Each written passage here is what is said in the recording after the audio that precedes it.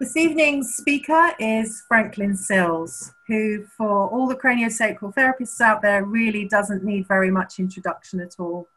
Franklyn is the early pioneer in the worldwide development of biodynamic craniosacral therapy. He has influenced many of the current teachers. He has trained many of the current teachers. Um, Franklyn started uh, a BCST practitioner training program at the Karuna Institute in Devon in the UK. And he was also a founder of us here at CTT in London. He has also helped start foundation trainings in Colorado, New York City, Switzerland, and he continues to teach uh, various postgraduate courses. He is the author of many books, including The Polarity Process, Being and Becoming, and Foundations in Craniosacral Biodynamics, volumes one and two, which are both seminal texts in the field of BCST. I have had the complete pleasure of having Franklyn teach as a guest tutor when I was a student many moons ago. And uh, it gives me really heartfelt pleasure to introduce to you the wonderful Franklyn Sills. Well, hello. Wow, thank you. Uh, first of all, I want to thank everyone for joining us. Uh, in this very strange time we have been in over the last number of months and still are. And I really, really wish everybody well and, and everyone has been well and friends and family are well. And um, just to acknowledge the, you know, oh, here my heart's going and oh, the intensity of this time we have found ourselves in. And um, I did a lot of training in in, uh, in the 70s, in the 60s and 70s uh, really into the A's in, in the Buddhist uh, tradition, which was very helpful for me at the time, certainly. And, you know, the Buddha shared life is conditional in nature. You can't have life without conditions. And we're in very, in some ways, very, very intense, intense conditions. And the question is not not having conditions, but how are we in the midst of the conditions, even in these intense times? Can we find connection? Can we come into our hearts a bit, which we'll do a little bit in the presentation. Uh, so I just want to acknowledge the times we're in and appreciate you all for attending. My intention is, is to do a kind of PowerPoint presentation with various images uh, and it's really about the nature of um, biodynamics, craniosacral biodynamics. Um, and, uh, and let's see where we all go together. So I'll share my screen and you, you, you can let me know how that is for everyone. Can you see my screen okay? That's great. Thanks, Franklyn. Okay, thank you. So my presentation, which I hope is isn't too much, but we'll see how how we go with time because I want to leave some time at the end, certainly for questions. But the idea, you know, we're, we're a mixed crowd. About 70 something percent are, are craniosacral therapists and maybe different backgrounds that you're from. And there's some health practitioners and other people. So just, you know, again, much appreciations for your for your interest or curiosity. And um, I'm going to be talking about uh, uh, uh, biodynamic basics and what I call the holistic shift, which in work uh, we do with clients is about helping a person's system really settle and deepen and, and re, really deepen out of patterns and faster, faster what's called rhythms into a deeper place of a, a, a sense of support and, what and also the deeper forces of life come more to the forefront. So taking a breath. Let's see if I can, oh, it's not, oh, I see it. Maybe I have to do it here. there we go. So my, my first image is an image of, of, of, of Dr. Randolph Stone. Um, way back in the 1970s, I got involved in a group of people in California who were really in, into his work. And I met people like um, Ray Castellino, who you may know, Jim File, and, and, and others. And, and it, it, really, uh, I had done, I had been in therapy um, really from, from about 1969. I re- really needed to go in and process a lot of stuff in myself when I was young. It was quite powerful. And then I realized how much body work was so important for me because I was holding so much in my body because that's that's true for us all. We're actually body oriented be body oriented beings. And then I, I met people who were in, into Randolph Stone's work, and it really, really, really got me involved in, in body work. He, he developed something called polarity therapy, which some people may be familiar with. And in that, in the way it was taught to me a long time ago, we would all, there were also holes, there were some cranial holes and other holes where you entered a deeper state of stillness. Dr. Stone called entering the neutral essence, the ground state. And that, that really got me interested in deeper forces. And um, around 1982, I, I went to osteopathic college and I got into various ways of working. Uh, and uh, I did osteopathic apprenticeship, which was which was very interesting. And so he he got me going. So, and I just wanted to acknowledge uh, Claire uh, Claire Doby, who I met in osteopathic college, and she encouraged me back in 1986, 87 to start a training which was more oriented to uh, the life forces in craniosacral therapy to what, what is known as biodynamics. Um, and it was sort of like fools rush in where wise people fear to tread. I, I, I started training. Claire was helping at the time. Dear Claire has passed away a number of years ago. I just want to, I just wanted to acknowledge her. And she certainly was an, an, an important teacher in, in the work. So she, she, she really got me started and going. And so let's take a breath and um, just acknowledge William Garner Sutherland. Um, he was an osteopath. He went. He was an osteopath at college in the early 20th century,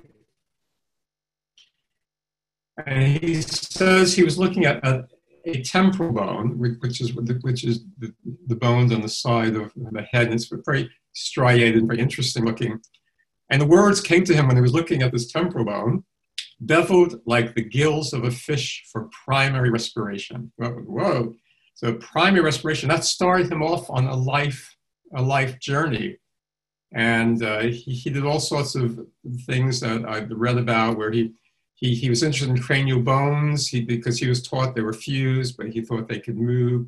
So, so he, he, he, he developed this helmet and to see what happens if he would put pressure on the bones, and all sorts of things happen for him. And in, in the end, he starts to sense deeper expressions of life, which he called the tide, the fluid tide, and he sensed tissues almost being breathed within the fluids. It was quite, quite, very, very powerful. So um, just to, it's important to acknowledge for you know however you're in the work or whoever's in the work he really brought it out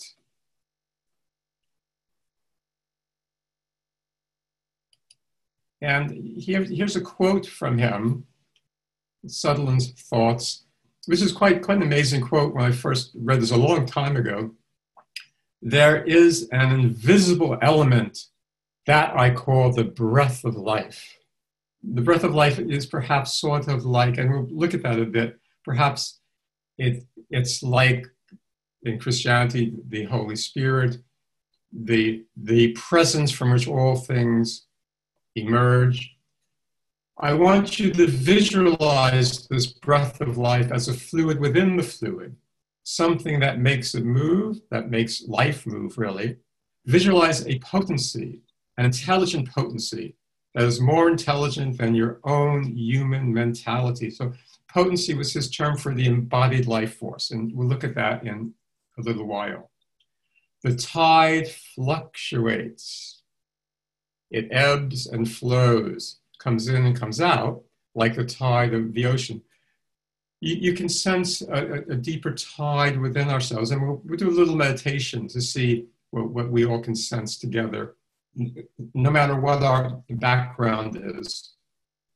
You will have observed its potency, its power, and its intelligence spelt with a capital I. So this intelli- so the forces of life have an intelligence. They maintain a form throughout life. This incredible world we're living in, may, may we all be safe and well in this incredible world. It is something that you can depend upon to do the work for you. In other words, don't try to drive the mechanism through any external forces. Rely upon the tide. And another little quote from him use no force from without, let the unerring potency do the work. And very early on, when I was in um, osteopathic apprenticeship there was an osteopath who really helped me settle into this a bit. So I just wanted to acknowledge Sutherland's thoughts. It was very, very, very powerful. And this idea of potency, of an intelligent embodied life force. So the breath of life, this is a wonderful image from the Hubble, Hubble telescope a mysterious essence which generates the ordering forces of life. And again, some call those forces primary respiration. And just an incredible presence um, and, and, and incredible presence. Excuse me. Someone talked about an experience he had in 1945 where he was called into uh, a person's house. A man was in the process of passing away. His family was around. They were very anxious. And he, he held a very wide field because he had to, because the family was around. Um, a lot of times you're taught to narrow attention to do things, but he had a whole a wide field. And he felt a deepening stillness, so those stillness came to the forefront. And then he said he felt this presence, this, this spiritual presence this breath of life that came and seemed to lift the man's spirit away and actually cast his heart open in love. And I, I had an experience like that a long time ago now when I was in a very busy practice, and this, this is in the 1980s. And I, I, I, was referred to an older woman. She isn't so old now. She, she's, she's actually younger than I am now. How did I, how that happen? I'm 73. I think she was I think she was 70 at, at the time. And she had such a story to tell me. So for about five or six sessions, we, I just had to listen to her story before we could even move, move to the table. And she had been, uh, she had escaped from um, the um, Nazis in the beginning of the Second World War. She was young. Her family told her to leave. She, she was a young teenager. She, she walked across Europe in the midst of the horror of the war. She got an incredibly brave French fisherman to ferry her across the English Channel. And she had relatives in London. And oh God, what a story she told. And she was quite, she was quite protected in many ways and it's very, very, very, powerful. And in one session with her, I had this experience, maybe about 10 sessions down the line or something.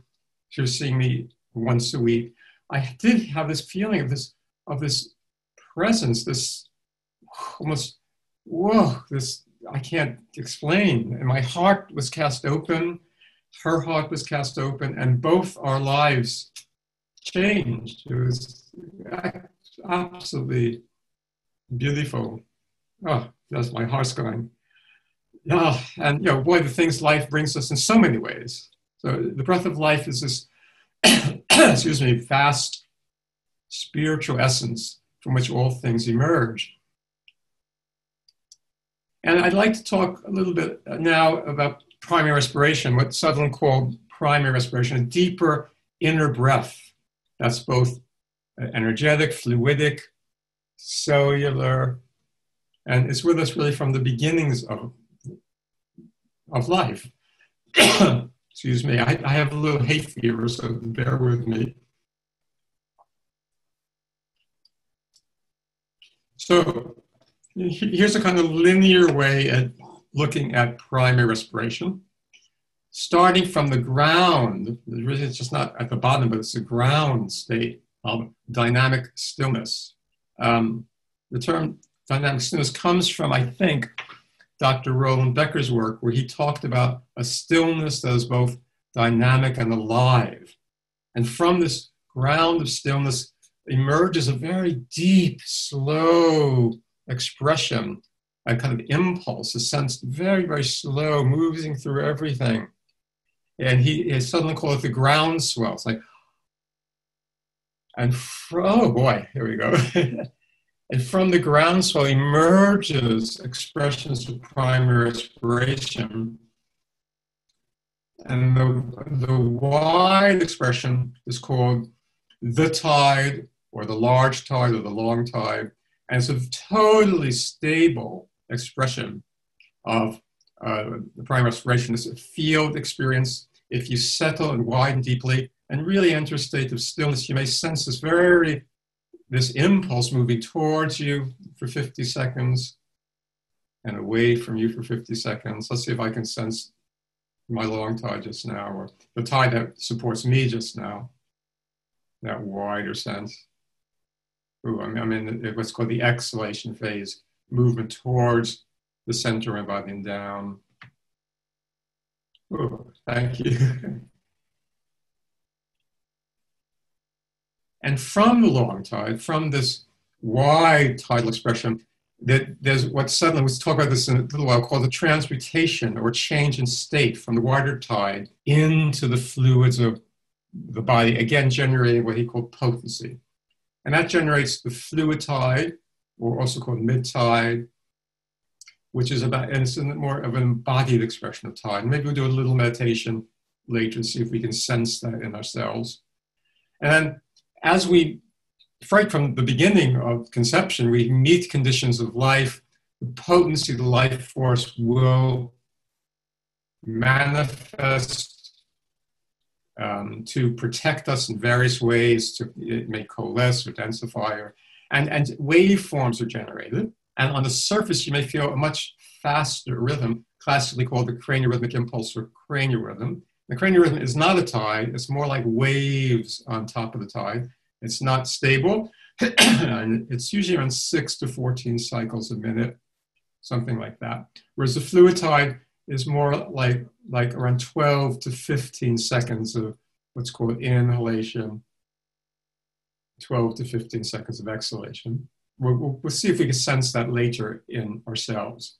So, so these are the levels of primary respiration, but they're not, the primary respiration really isn't about levels, it's more about fields, fields within fields within fields.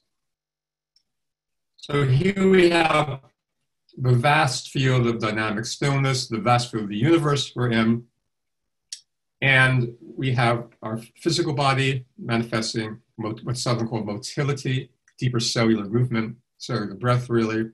We have a field of potency within the fluids that generates a field called the fluid field or fluid body that generates what's called the fluid tide, the, the embodied expression of primary respiration. I'll, just check to see if I can sense mine just now. I'm in its inhalation phase. It's nice to feel it actually. So there's that qualitative fluid field, fluid potency field, and that's suspended in the large tidal field again, the long tide. And, and this beautiful torus shaped field is, is, is quite powerful. Um, there's been various research that shows that energy, torus shaped energetic fields organize life really. So that, that's, that's quite a powerful image. And it, uh, this powerful quality of fields within fields. So again, think of the various tides, motility as field states rather than linear states. So let's, let's take a breath. see how see how we go. So a little bit more specific about the various tides. Long tide, again, is the underlying support of all life. It manifests in 100 second cycles, 50 seconds of inhalation is kind of rising, filling, streaming, 50 seconds of exhalation is totally stable. And we'll look at some old research about it, which is quite, quite extraordinary. So I'm going to, just going to blow my nose. It's my hay fever. So it's totally stable. It can feel locally like wind-like forces. In the Tibetan system, they actually call it the um, the, the unconditional winds of the vital forces. And to sense it, you need a very grounded, very embodied and wide awareness, field, perceptual field, field of awareness. So, how is long tide sensed? It's similar to what in the Chinese, some Chinese systems, it's called cosmic chi. A long time ago, I studied Qigong and Tai Chi in California with this one wonderful Qigong Tai Chi master, Sifu Fong Ha. He, he passed away uh, a year or so ago. Um, he was 92 or so. But he really helped me sense deeper forces in, in an embodied way. And long tide is sensed again as a stable tide like wind like streaming towards and away from your midline, your center line, Again, 50 seconds inhalation, 50 seconds exhalation.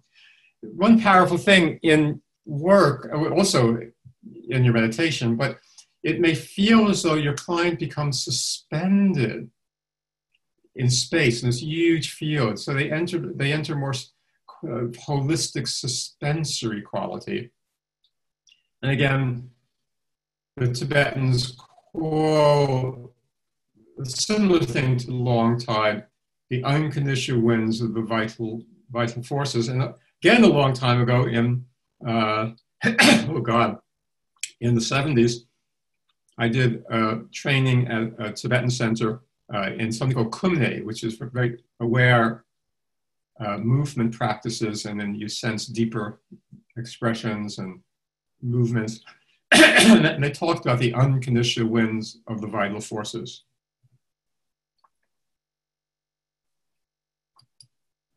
So Sutherland from that, so I'm just taking a drink of water.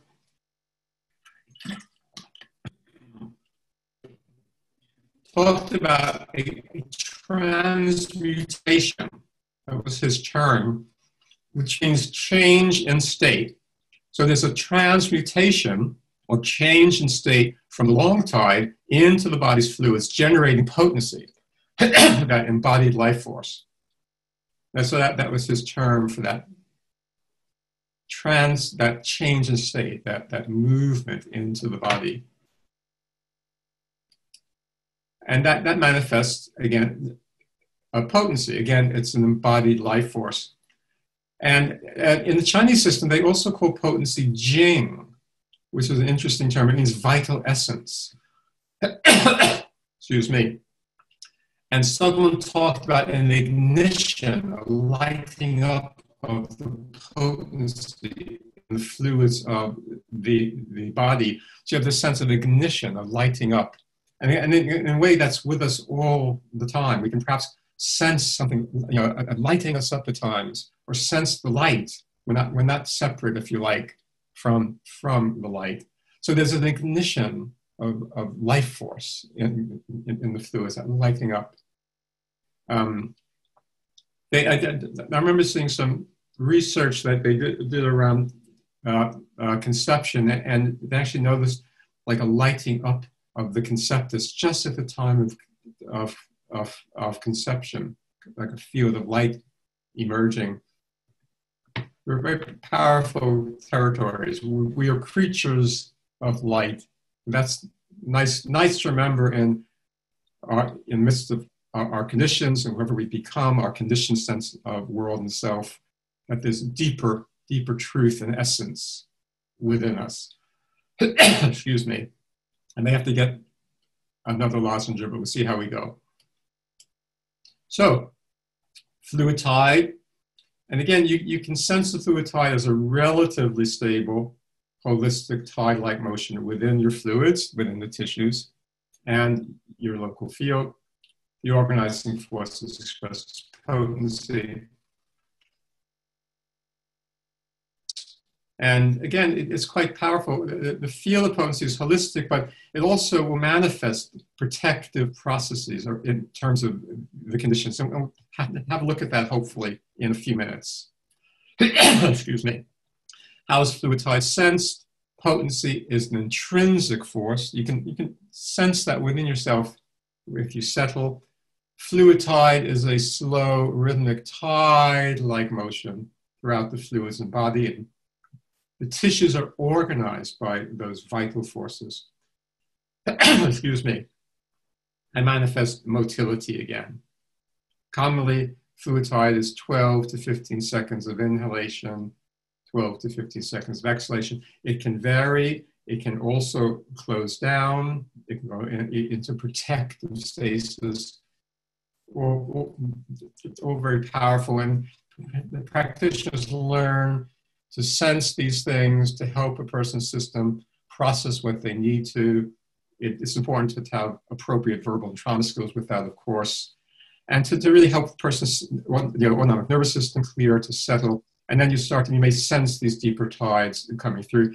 And my, my experience, it can take it, it could take at least six sessions to help a person start to process things and, and be able to, to, to enter you know, the, the, deeper tides to come out of all the conditioned processes and the CRI qualities. And it, it's always there underneath, so to speak.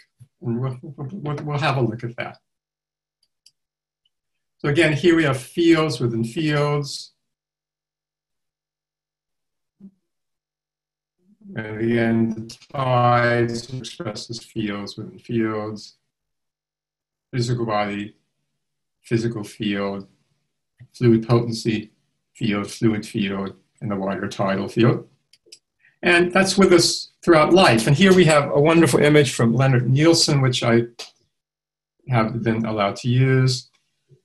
And this beautiful, oh, maybe five week old embryo. Look, look at the size of the embryo's heart. Isn't that extraordinary? How we're almost holding our hearts. You know, it's quite extraordinary. And just with this feel, this you know, the, you know, the sense of a very fluid physical body, suspended in the fluid body, of course, suspended in the wider tidal body, right from the right from the beginning.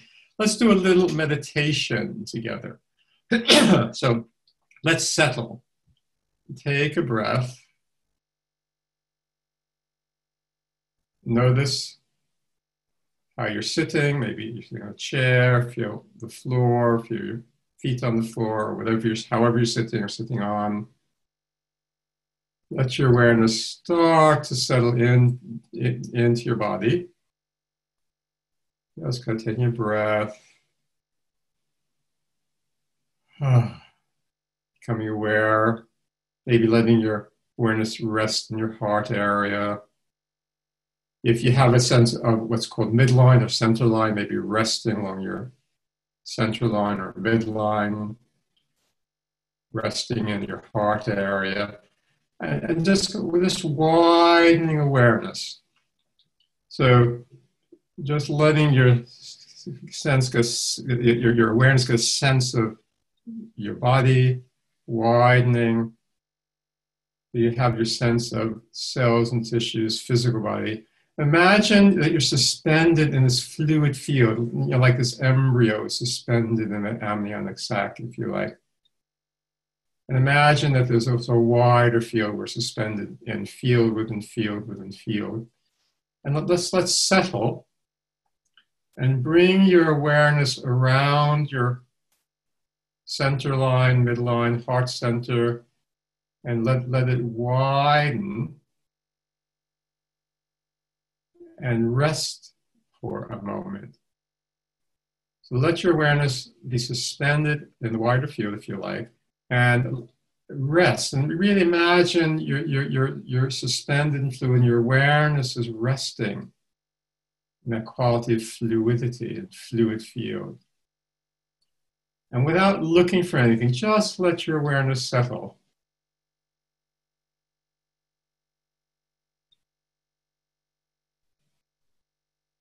And let your awareness be suspended in that fluid field, that wider field. And notice over the next few minutes if you sense a quality of what's called primary inhalation, a sense of rising, filling. I'm actually in my inhalation phase. Or a sense of settling, receding, what's called exhalation. Again, usually around 12 to 15 seconds if your tide is expressing at that level, and at fluid tide level. So let's hold ourselves widely. Imagine we're suspended in fluid, letting our awareness be resting, and just see if our awareness is moved. So don't look for anything. Just let your awareness be suspended. Do you have a sense of a tide like breath? And for some of the craniosacral therapists, practitioners out there, may be familiar. For some people, it may be something new. So just bring some curiosity, if you like, to it. Resting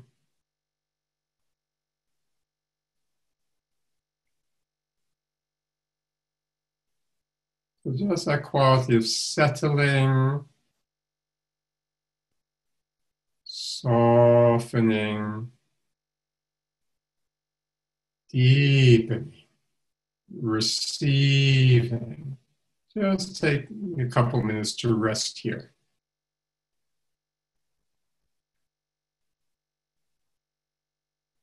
If you find your mind is really, really moving, just, just going to rest and settle.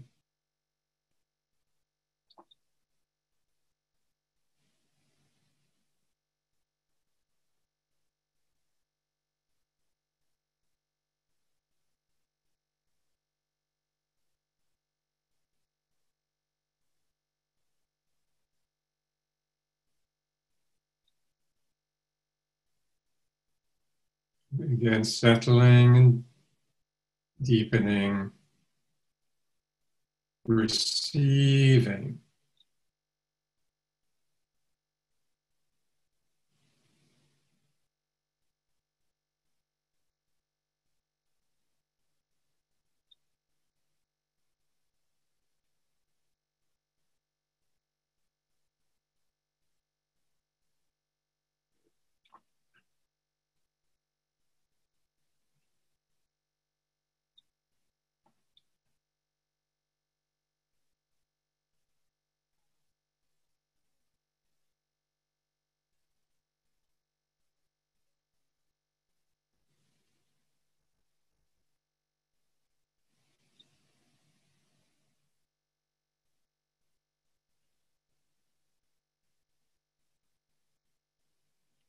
And just letting that be for now.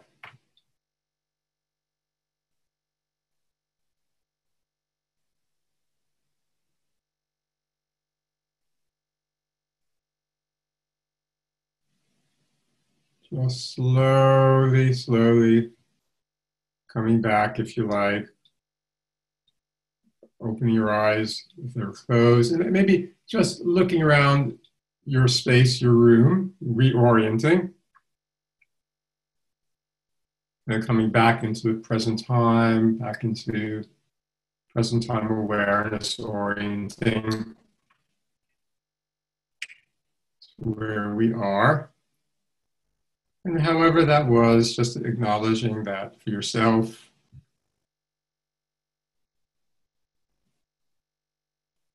Okay, thank you. So taking a breath. Hopefully, we're ready to move on a bit. I thought that was, you know, just, just to get a little hint And you know that that's not uh, that that could be very useful meditation to do yourself um, during the day. Also acknowledging whatever you need to to process with that. I find I have to work with my my body every day. I do some qigong practice, some breathing work each day. So I find I really need to help have my body express what it needs to and move and breathe with it. So just to acknowledge that. So taking a breath and we'll just move on to the next image. So uh, again, Sutherland was quite quite amazing. He, he, he used he, he also said use no force from without. Let the unerring potency do the work. Again, I, th- I think I, man- I think I mentioned it earlier. So let's look a bit more at potency. So we're going to shift a bit. And I, uh, a long time ago, I, I, I, talked about the three functions of potency, the three functions of our embodied life force organizational, the embodied life forces, the potency organizes our cells into form throughout life, really. Protective potency will coalesce to protect and, and also densify and generate what in uh, classic uh, craniosacral work is called inertial fulcrums, which are areas of protection, really, where, un, where, where conditions and conditional forces are being held uh, as best as possible. But and also in stillness, especially potency manifest healing processes. So in session work, we really help the system enter what's called a state of balance, a deepening stillness around particular issues and things that emerge. So potency can change from a protective function to a healing healing process, and that's something we really work with in training programs. So here's some, so some interesting research from Tufts University. I had, had permission to use this slide. And it's a frog embryo. So if you especially look at this embryo, the, the lower one, and they, they did various studies that shows bioelectric exchanges moving the cells into place, and you, you, you'll see a midline forming. So it's quite amazing. Cells are being moved into place by bioelectric exchange in the fluids. So, so here's an image. of This is quite speeded up. Um, but look at that amazing flow, that midline coming through, and that frog embryo forming. And here's a slower version of that. Again, these are bioelectric exchanges in the fluids. Look at that midline coming through and the, the cells flowing in the fluids. Well, quite, quite amazing. So that's the organizational function of potency quite quite amazing. Ah, there we go. Great. So hope that I hope that hope that was powerful to see. we were all embryos at some time. We all flowed into form very, very, very powerfully. And hopefully we're still flowing into form in the midst of our conditions and here's a, just a little excerpt from research done by William Seifriz, University of Pennsylvania, 1953. This is just a little five minute excerpt. Uh, I hope you, you can hear him. He was Scottish. And in 1953, he did this research on what, what's called slime mold, which is a primordial organism. It's basically protoplasm. And he discovered a constant streaming in 50 second cycles that's not affected by the conditions that he puts the poor slimo through. So I hope you can hear his voice okay. Whoops, I didn't mean to do that. I hit the wrong button, sorry. First, a nearer view of a small part of the whole, such as we would see if we used a hand lens. Remember, this is not tissue, not an aggregation of cells, but just protoplasm and through it all there is constant streaming. And now the protoplasm is seen through the microscope. The movement never ceases as long as there is life, except during hibernation in wintertime.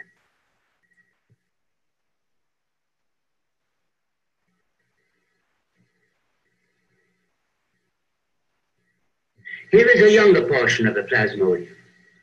Could we but understand the cause of this constant movement, we should be nearer to an understanding of what life is. I, I, know, just just think about this isn't an amazing statement. If we could understand this constant streaming, we'd be closer to understanding life itself. I just really wanted to acknowledge that. The protoplasm here flows all over the surface. Later, definite channels will be established. The granules which you see are nuclei, fat droplets, vacuoles, and bits of food.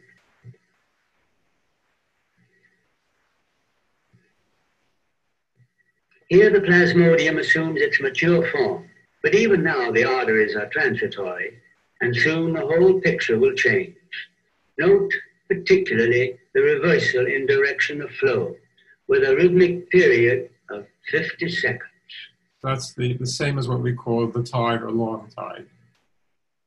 In, in a primordial organism, it's, it, it's moving.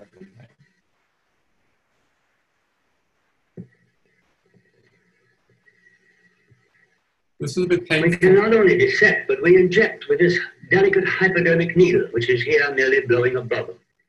Let us inject a toxic salt. And you will see the protoplasm suddenly stop. Beyond, out of the picture, the protoplasm flows on as before. Thus, the protoplasm meets contingencies, heals itself, and thus saves itself. That's quite extraordinary. So, the, so locally, the fluids densify, and we call that the protective function of potency. And in his words, the protoplasm can, can protect itself and heal itself. It is quite, quite amazing and beautiful. we turn now to a typical medical problem, anesthesia. When the normal protoplasm is treated with carbon dioxide, it slowly goes to sleep.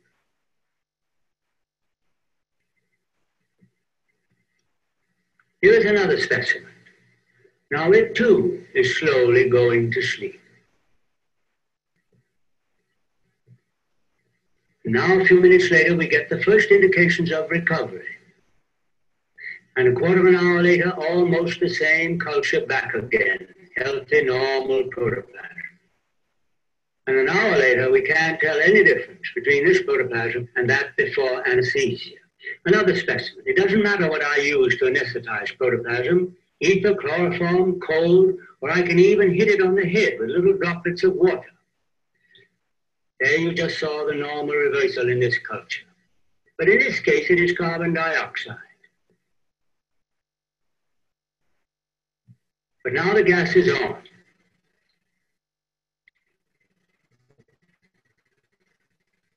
It. So sudden a cessation of flow could occur only if the protoplasm has solidified. Here's still another patient under high magnification we made a discovery that the rhythmic forces in protoplasm are even more basic than the flow. But when the protoplasm recovers, it doesn't just start flowing, it resumes as though it had been flowing all the while. In a moment now, the protoplasm slowly quiets down. Note that there is a slight nervous shock just before anesthesia takes place.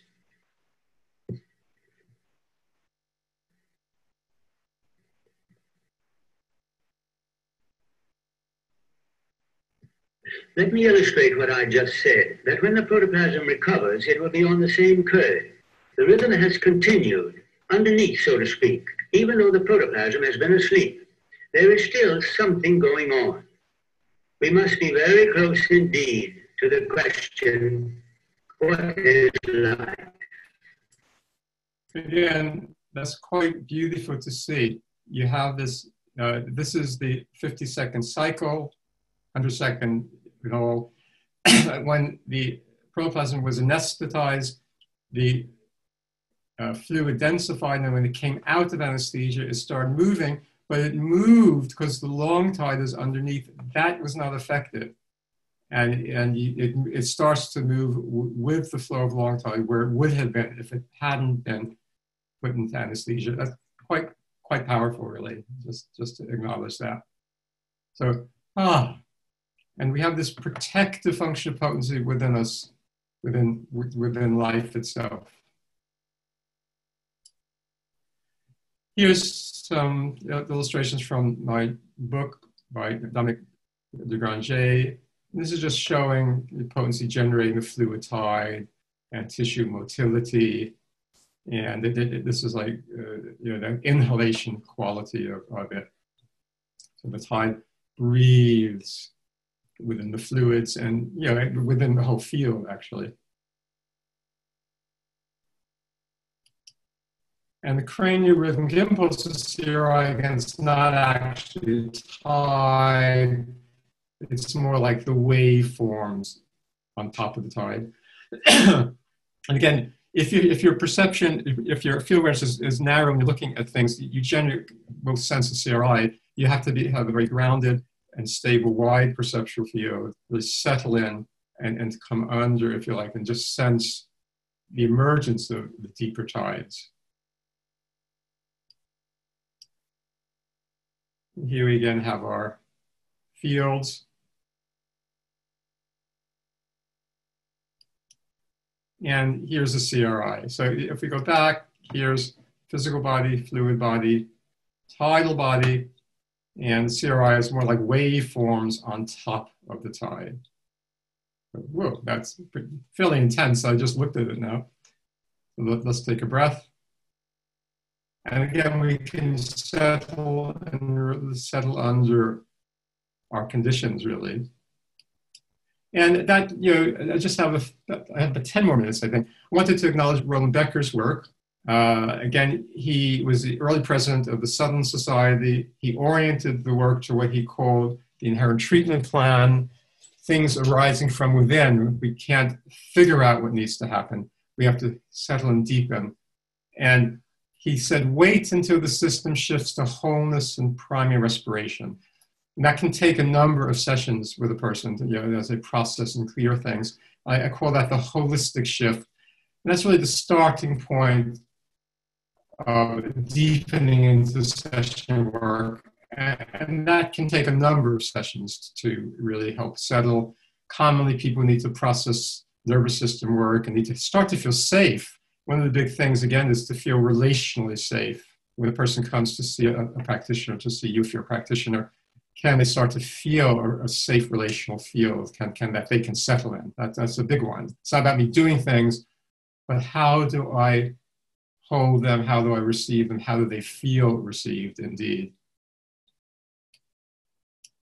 And the inherent treatment unfolds and there's various stages to that. And just the preliminary phase what i call the first settling is again the settling of relationship that the person, the, the receiver, the client, whatever you want to call these really brave people who come to see us, or come to see any practitioner, in suffering, of course, hoping to alleviate suffering in general.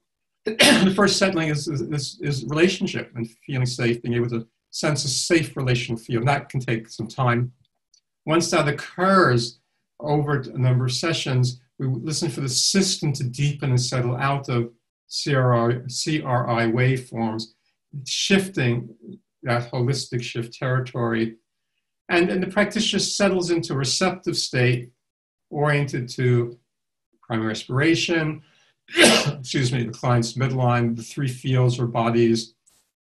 The, the, the first time I came across the term um, uh, um, bodies was from Dr. Stone he talked about the elemental bodies physical body, water body, fire body, fiery energies, air body, more the, the organizing fields, and, and the water etheric body, long tide, if you like. So I came across that term for, from Dr. Stone a long time ago.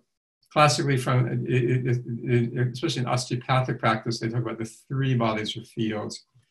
It's a shift from conditions and the, and, and, and the CRI rhythms and rates into a deeper place again where, where healing processes can unfold and you sense that deeper sense of tide emerging. And so here we have, in this case, a picture of a person, of a um, practitioner sitting at the head of the table. I, I normally start sessions settling the person after we settle together. I, we do some resourcing work in chairs first. What tells you you're okay just now in the midst of everything. Excuse me. I help the person settle on the table. I usually stand at the side of the table and just help them settle, remind them of their sense of resource. And then I usually go to the feet and make contact with the feet, negotiate that contact, and, and widen my perceptual field. And from that, I, li- I listen for the holistic shift to occur.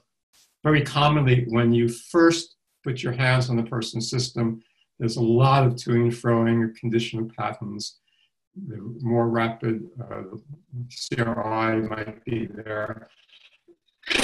And you're listening to that deepening shift into wholeness and primary respiration and that they can almost feel like the, the person's system's returning to that fluid embryo state, that, that kind of fluid, holistic state with so, uh, that Dr. Becker called wholeness in primary respiration.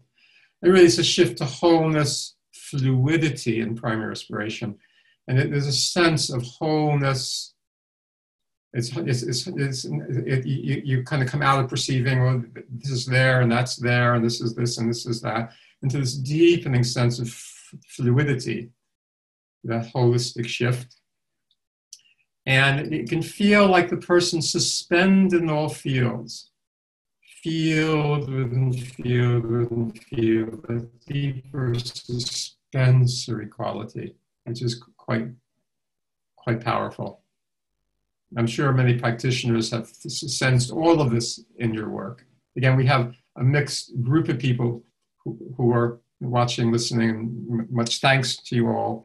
And perhaps for many of you, this might be a review or familiar territory. And for some, it might be new. Ah, and a last thing I'd like to do to start to finish is to acknowledge our heart field. And again, here's the huge heart, hearted embryo, which we were and still are really. And, and that takes me to the work of the HeartMath people. I, I, I think um, one of the, the, the, the um, people who started HeartMath is Rollin McCraty. I, I saw him do a presentation a long time ago. and they discovered that the heart generates a huge energetic field. And This is this torus shaped field again. And the heart energy field is huge. and they did lots of research on, on the energetic field around the heart, which is larger than the field around the central nervous system. It, it, this huge heart field, heart, heart to heart, if you like. And then they also discovered, with all sorts of interesting research, that our heart fields are in, interconnected. And again, I have um, I asked HeartMath a long time ago if, if I could use these images, and that was a long time ago. They said yes, with, with acknowledgement that they come from, from HeartMath. And here we have two people, hearts generating heart fields that are in resonance, heart to heart, heart to heart resonating. And they, they discovered, even if you if these people have been in relationship, you take them to other parts of the world, their heart fields will still respond to each other. Um, but they've also also discovered in, in the womb that little ones, the prenates in the wombs, their hearts are resonant with mother's hearts. As mother's heart rate changes, little one's hearts immediately change. If mom gets anxious, little one's heart immediately gets anxious is quite extraordinary. It's not just about hormones, but it's field to field re- receptivity. So we could say at a heart level, we are all interconnected, and my heart goes out to us all in this in the strange time we find ourselves in. Really, really. Oh, so ah, may we all be well and happy. May we all be peaceful. May we all know a deeper inherent freedom at the heart of our hearts. I just wanted to acknowledge that. And maybe let's just settle and finish together for a couple of minutes before we en- enter question time. if we settle in again and just come into our heart area and widen. And let's all rest in our hearts and widen our field of awareness just for another moment. Again, we, we did a little of this earlier, but really coming into heart centered awareness and re- receptivity. Breathing, acknowledging heart to heart, if you like.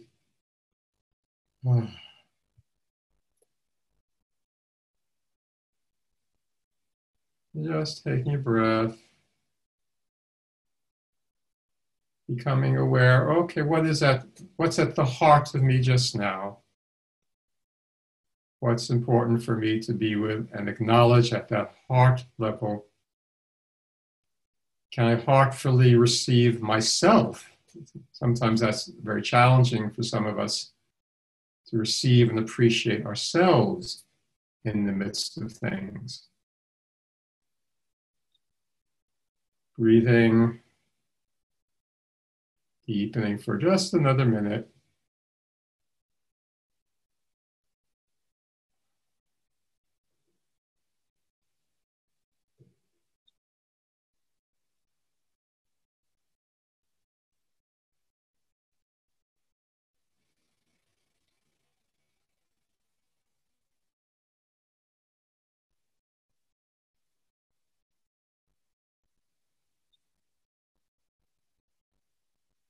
Again, that quality of settling,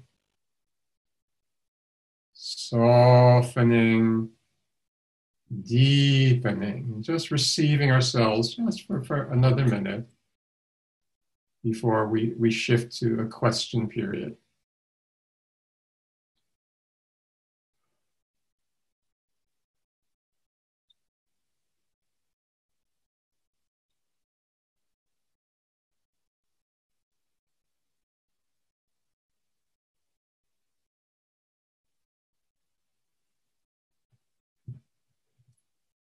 So thank you. I'm going to stop sharing my screen, just taking a breath, and we can start to move into question time now. So I'll stop my screen share, and hopefully where you're back and just seeing me, I hope. Yes, yes, we uh, are. Okay, so thank you. So like we have some, got about half hour for the questions to see what emerges from for you. So we have some quite a few questions coming in, Franklyn. Uh, one from Michael asking, from your picture, the tidal field appears to be both within and extend beyond the body. Is Absolutely, yes. So it's not just a physical fluids, but it's, the, it's, it's, it's an energetic field, and the wider tidal field is huge if you like. The, the, the tidal field, long tide, is, is a huge field, and we're all interconnected at that level. Um, I can remember a long time, and our hearts are very interconnected at that level. I can remember a long time ago, I can't remember how long it was, maybe 20 years ago now, or I, I can't remember. I remember it, it, it was the middle of the night, maybe two in the morning, and my heart started going mad. And my, since my heart field was going crazy, and I had to get out of bed. It wasn't a typical thing for me. And, and I, I, did some meditation, I did a little Qigong practice to try to, to get my, my body settled, and I, I got back to sleep.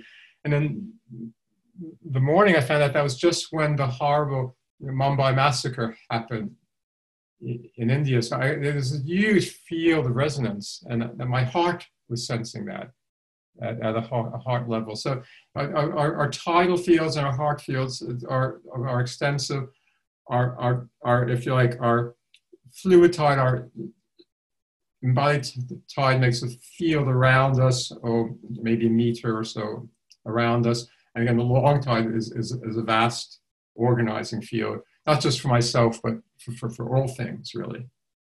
Hope that's helpful. Great, thank you. Another one here from Kate Franklin. It's um, in meditation, is it beneficial or irrelevant to allow the breath to synchronize with the mid tide? I, I wouldn't, yeah, I, I, it may happen naturally. I wouldn't worry, but but to allow, yes, to allow your breath just just to be, and and it it, it may it may deepen, it may synchronize with the tide. I, I wouldn't worry about that. Just that allowing that sense of deepening, and, and the breath would start to resonate as it needs to.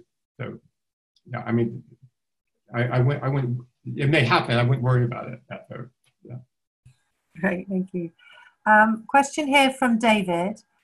How do the tidal bodies relate to the concept of the causal, astral, and etheric bodies? Whoa, what a question. I don't know. That's a wow. That's a, that's that that's a powerful body. Well, I get I that's a powerful question. Cover body. I said that's a powerful question.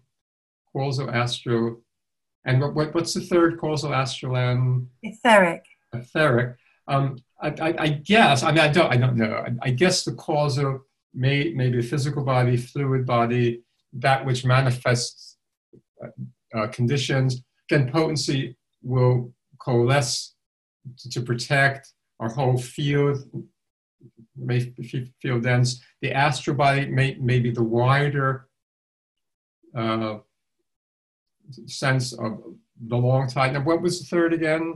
Astral and the, the sorry, etheric. And etheric, boy, you know, in, in the wider field, um, it, you know, that that, that third maybe the, the deeper field of dynamic stillness, that that which supports all all form. Um, yeah, so uh, good question. A powerful question. I don't know really in, in, in, those terms. I hope that was helpful though a bit.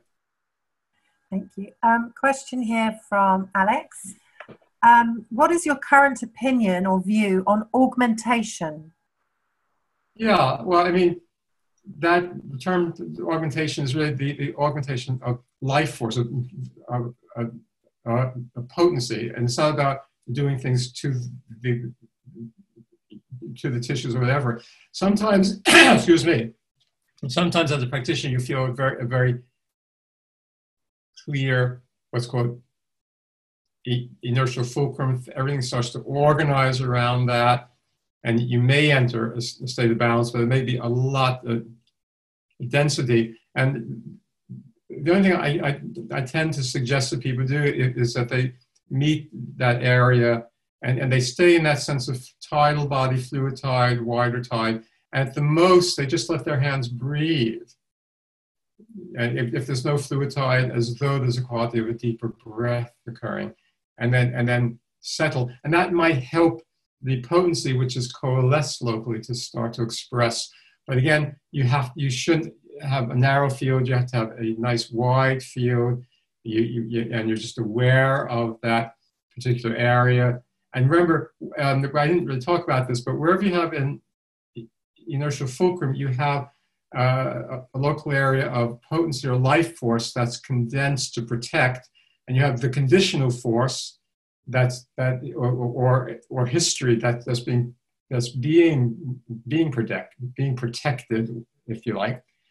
And as you settle, and potency can start to shift from protective to a healing function, you may start to feel things coming alive. If not, I may just let my hands breathe a bit, and that, that may be enough to help the potency express. And, and if we've deepened into some stillness and safety.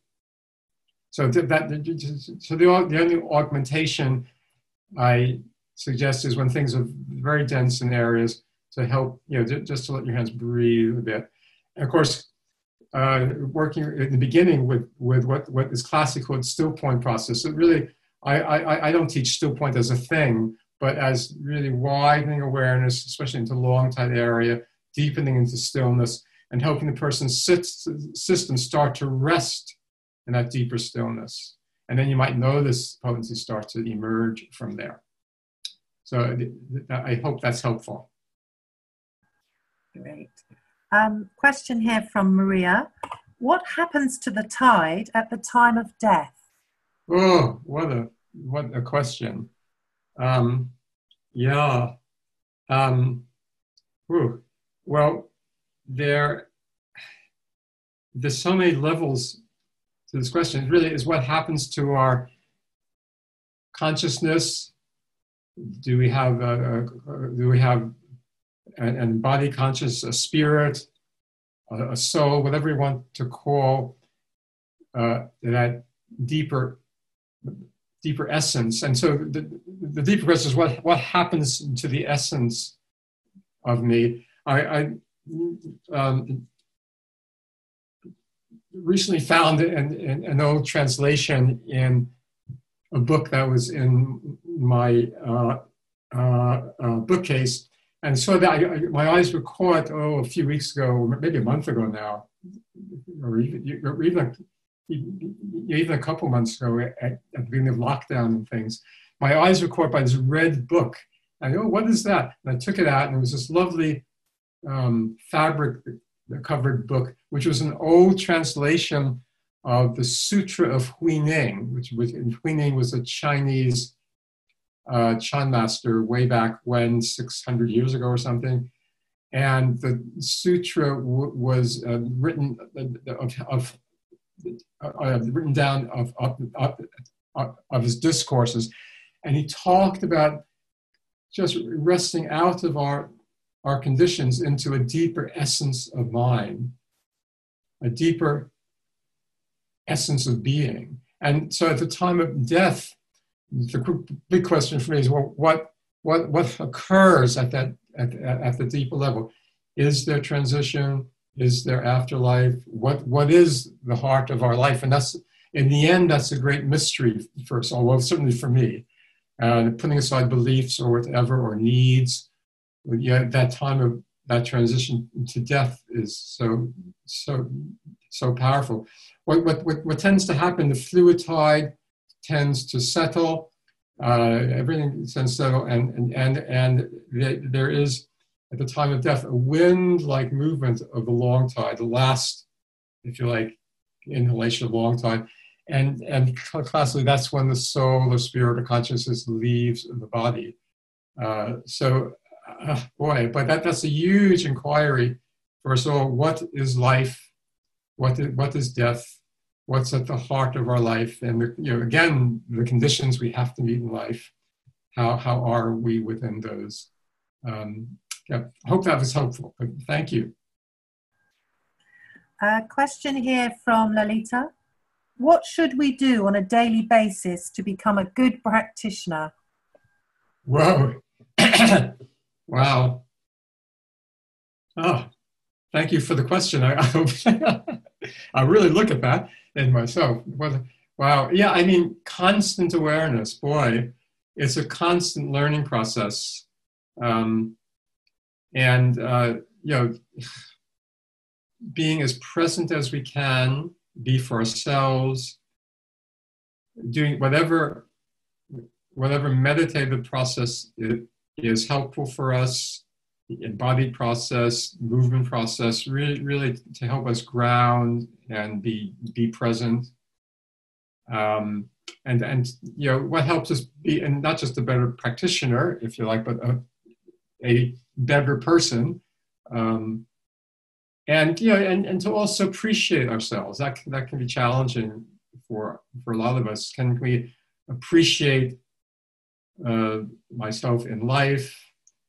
Um, I, my um, dear wife, um, Cherionna, um, Sharon Menzam, who, who's written a lovely introductory text to craniosacral biodynamics, but you know, it's not just for people who, who don't know about the work, uh, uh, uh, practitioners really like it too.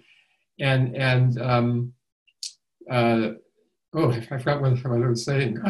I've lost it. Um, what, what, what was the question? Oh, I got carried away.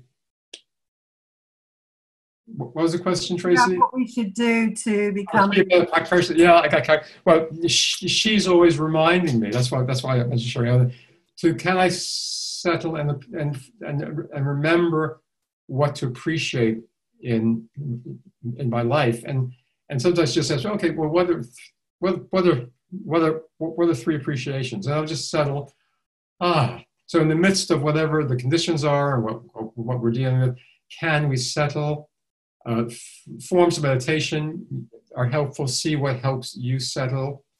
Um, and uh, I, I, find the uh, tidal meditation is quite quite helpful for me Again, I do I do qigong practice. I find all of that has helped me in the past to be a, a better, more grounded practitioner. So whatever helps us ground, whatever helps us deepen, and in the end, whatever helps us to be present.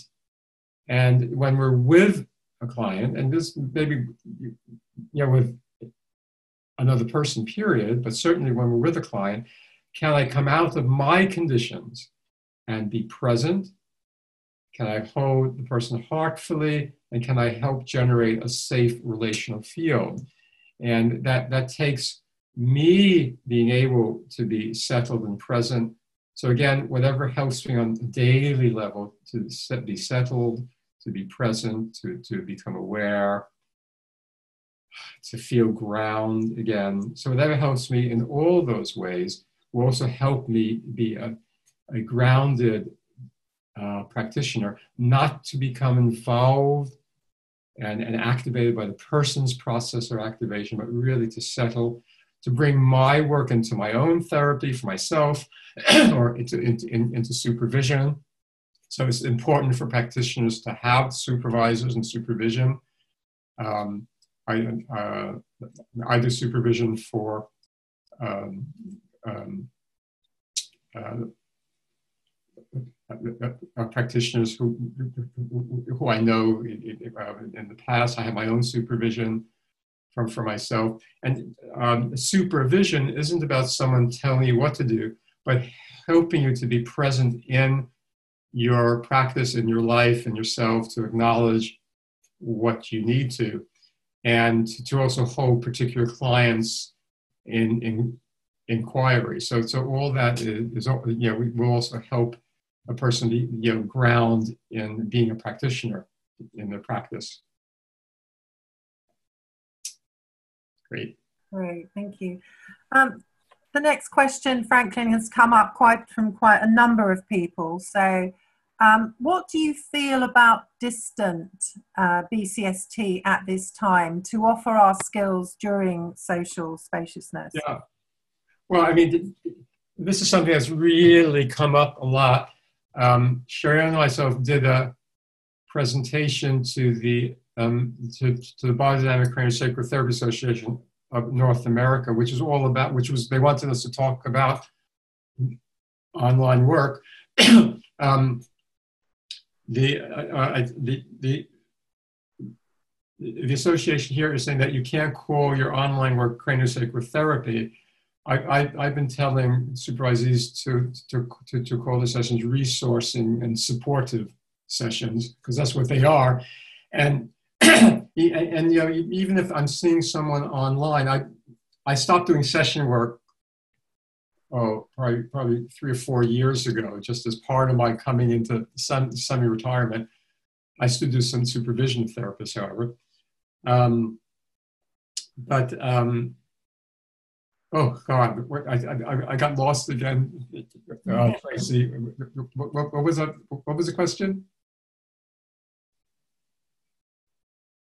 I forgot. Um, what did the person ask, Tracy? Yeah, we were asking about um, distant.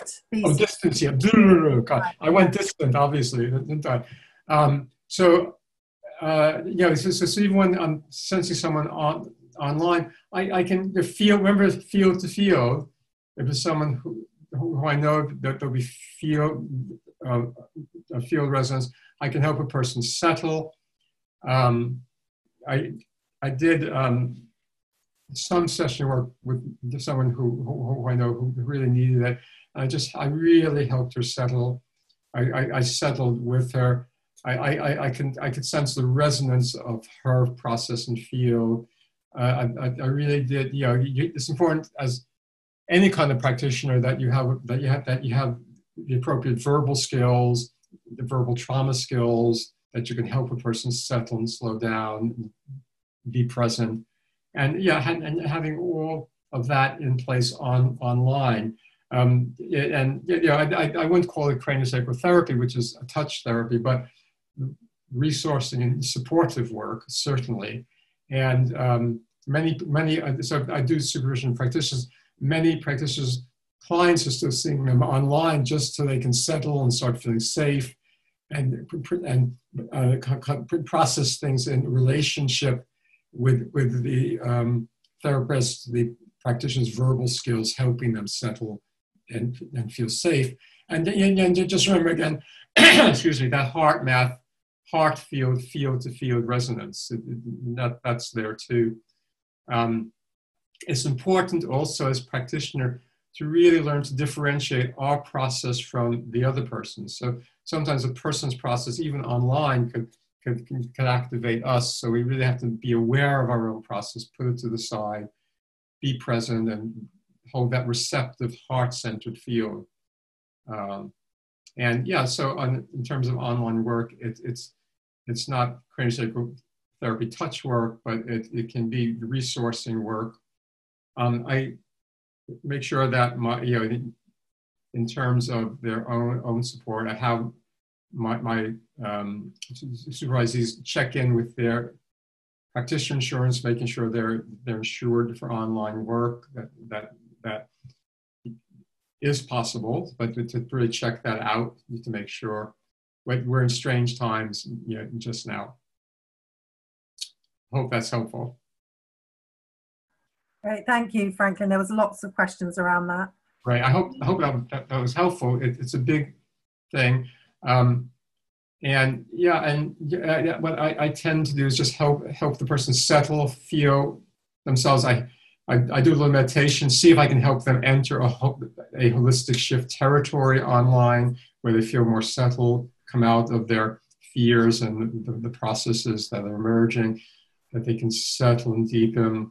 And um, yeah, I, I, can sense things happening in their body. I may help them bring their awareness to it and hold that widely.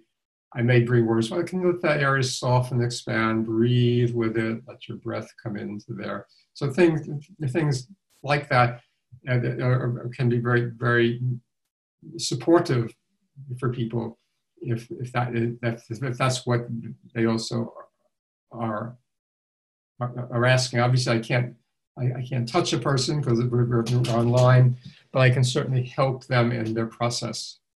Yeah. A question here from Anne. Do you give feedback to the patient while you're treating them? Yeah, well, in terms of, it depends on what you mean by feedback. I, I don't generally tell a person about what I'm sensing or what their process is. I may be noticing something, then I'll ask them, what, what are you noticing just now in your body? What, what, what, what sensations are present for you? Maybe a particular part of the body or something I'm sensing in general. So I, I always ask the person what, what, what they're what they're aware of. I, I, help them settle and, remind them perhaps of their sense of resource, which we work with at the beginning of the session in chairs. So in, in the midst, whatever is present for you, what tells you you're okay just now. And um, yeah, just to acknowledge, um, Peter Levine's work is incredibly helpful. It's, it's, somatic experiencing work and, and, and, and trauma skills. We brought in at Karuna the idea of resourcing work and similar work well, in the late 80s, early 90s. So that, that sense of helping a person settle again, get a sense of resource can be incredibly helpful also. Great, thank you. Um, question here from Chantel. Is it possible to give yourself a treatment as you treat a client? And if so, is it recommended? Oh, that, that's interesting. Well, I mean, again, that, that, that's a giant, that, that's a huge question in many ways. It's not that I'm giving myself a treatment, but as I settle and deepen, hold a wide field, and I orient to the, to the tides, obviously the tides within me are responsive.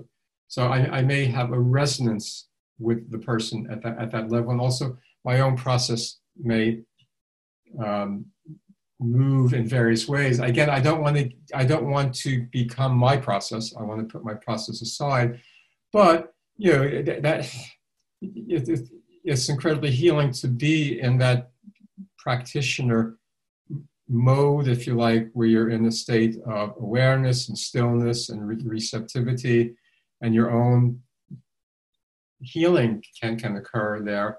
I, I, I, I, I certainly remember I, I, was quite busy when I was younger. I, I, would kind of see 30, 35 people a week sometimes. How did I do that? And I was teaching. Um, and but I, I, what was really important for me was with, with, with all, all, the sessions I was in was really to have a state of stillness within myself, of settledness, of differentiation. This is mine, that's theirs, of a sense of wellness and resource, and that that is healing in a sense. As I give as I give sessions, it's not my session, but there's a resonance, if you like, feel to feel the potential of healing. Yeah, I hope that makes some sense. Great, thank you. Uh, question here from Nada. In reality, to be present during sessions and all the advice that you've just shared, how many sessions could a person do in a day? Well, that, that's a good, I think that's very personal. I, I think that, that that's a, that, I, I, I'd be careful with that, uh, seeing what you, you, you, your own energies are. Um, again, I, I, when I was young, I, I'd probably give around six sessions a day, something like that. Um, sometimes seven, like, you one, one day a week. Um, and I start slowing, slowing that down. Each session, uh, what the first session that, that uh, when I first meet a person can take about an hour and a half, and you know, taking the case history, getting them settled, doing a short table session.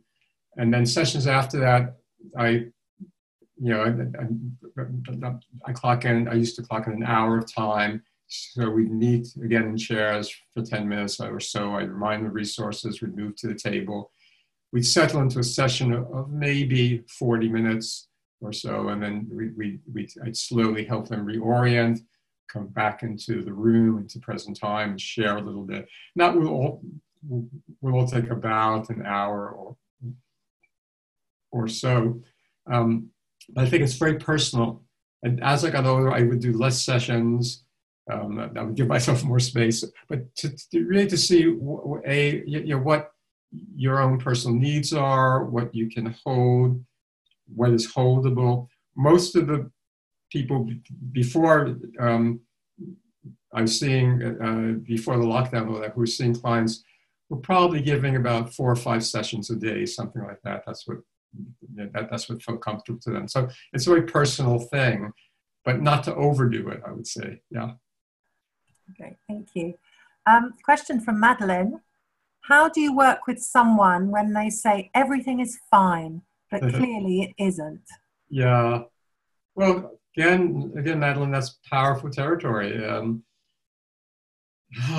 boy, I, so first of all, I, I, personally, I would, I would acknowledge, oh, that that's that's good to hear.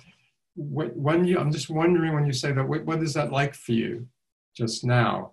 What what, what tells you you're okay? So I'd, so I'd move into that resource. What tells you okay? What what are are you noticing just now that that is you know, not ideal or perfect for you. I'm just wondering what's, what's really present here. So I just help the person come into the present and into sensory awareness. But I'd be careful not to do that, not to do that too fast, or I wouldn't make demands on the person. I'd go slow, um, you know, and, and, and just to see how things emerge really uh, um, over time.